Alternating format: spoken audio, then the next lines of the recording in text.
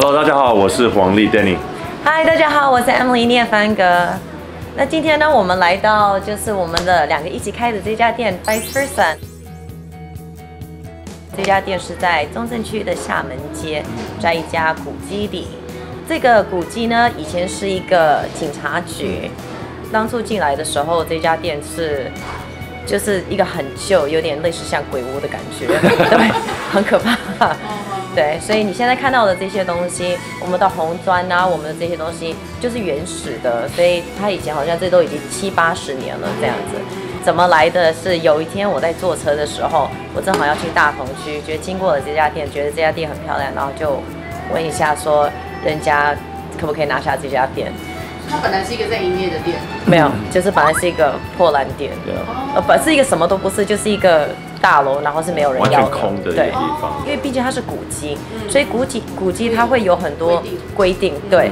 然后我们很多东西，像也许我们要把一些地方打掉啊，不能吧？不行，墙壁可以打洞什么吗？不行，打洞要先问，格局要是原来的，甚至我们要装一些东西，像这些东西，我们都需要先问过政府可不可以请的。所以会就后来就拖的比较久一点，我们一楼的餐厅这块也我拖了快半年了。对对，真真正装潢是是三两三个月吧，对不对？对。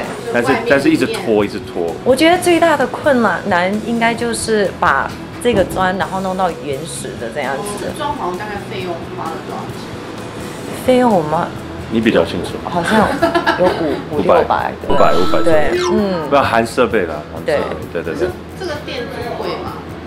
嗯，不能不能说便宜啦，就 正常正常，我们想法是我们本来就可以去大安区、新义区开一家店对，但为什么不能把新义区、大安区带到厦门街？对所以我们就是主要是让这边的邻居知道，这个店其实也是为了他们。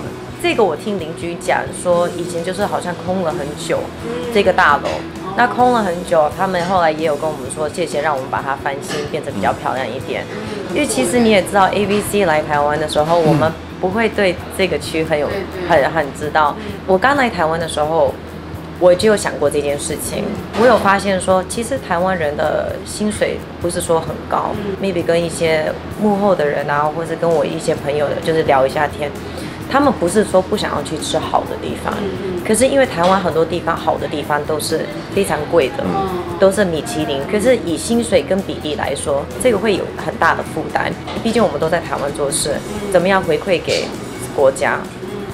所以后来我们就想说，做一个比较漂亮的地方，价钱也是便宜，然后让大家都可以享受这件事情，这个就都不会。上的维护会不会有影响？就是这个一定会有麻烦的、啊，因为。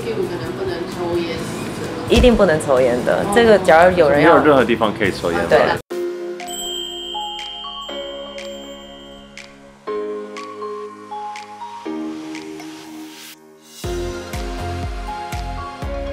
我们未来就是方向是开三三到五家店，然后我们就以后就是可以自己代理自己的红白酒。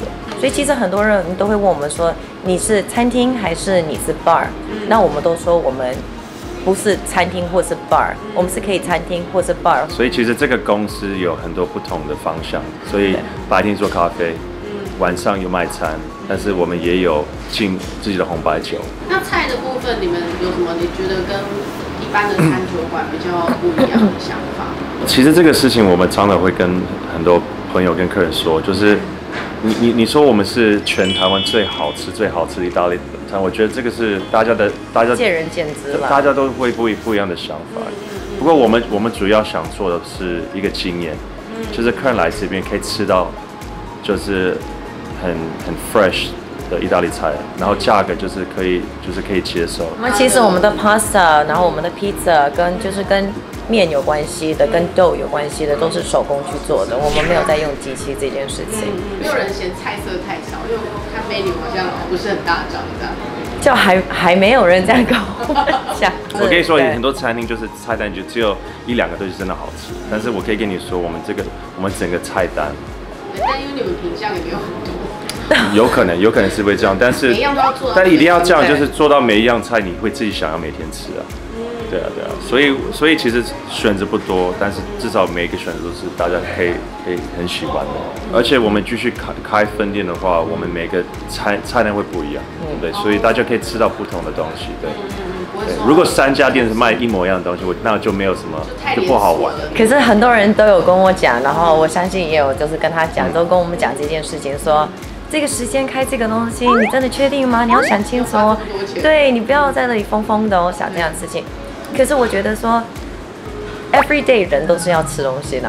而且而且现在大家也不能出国。对啊。所以你要吃好的意大利菜就来这边。对啊。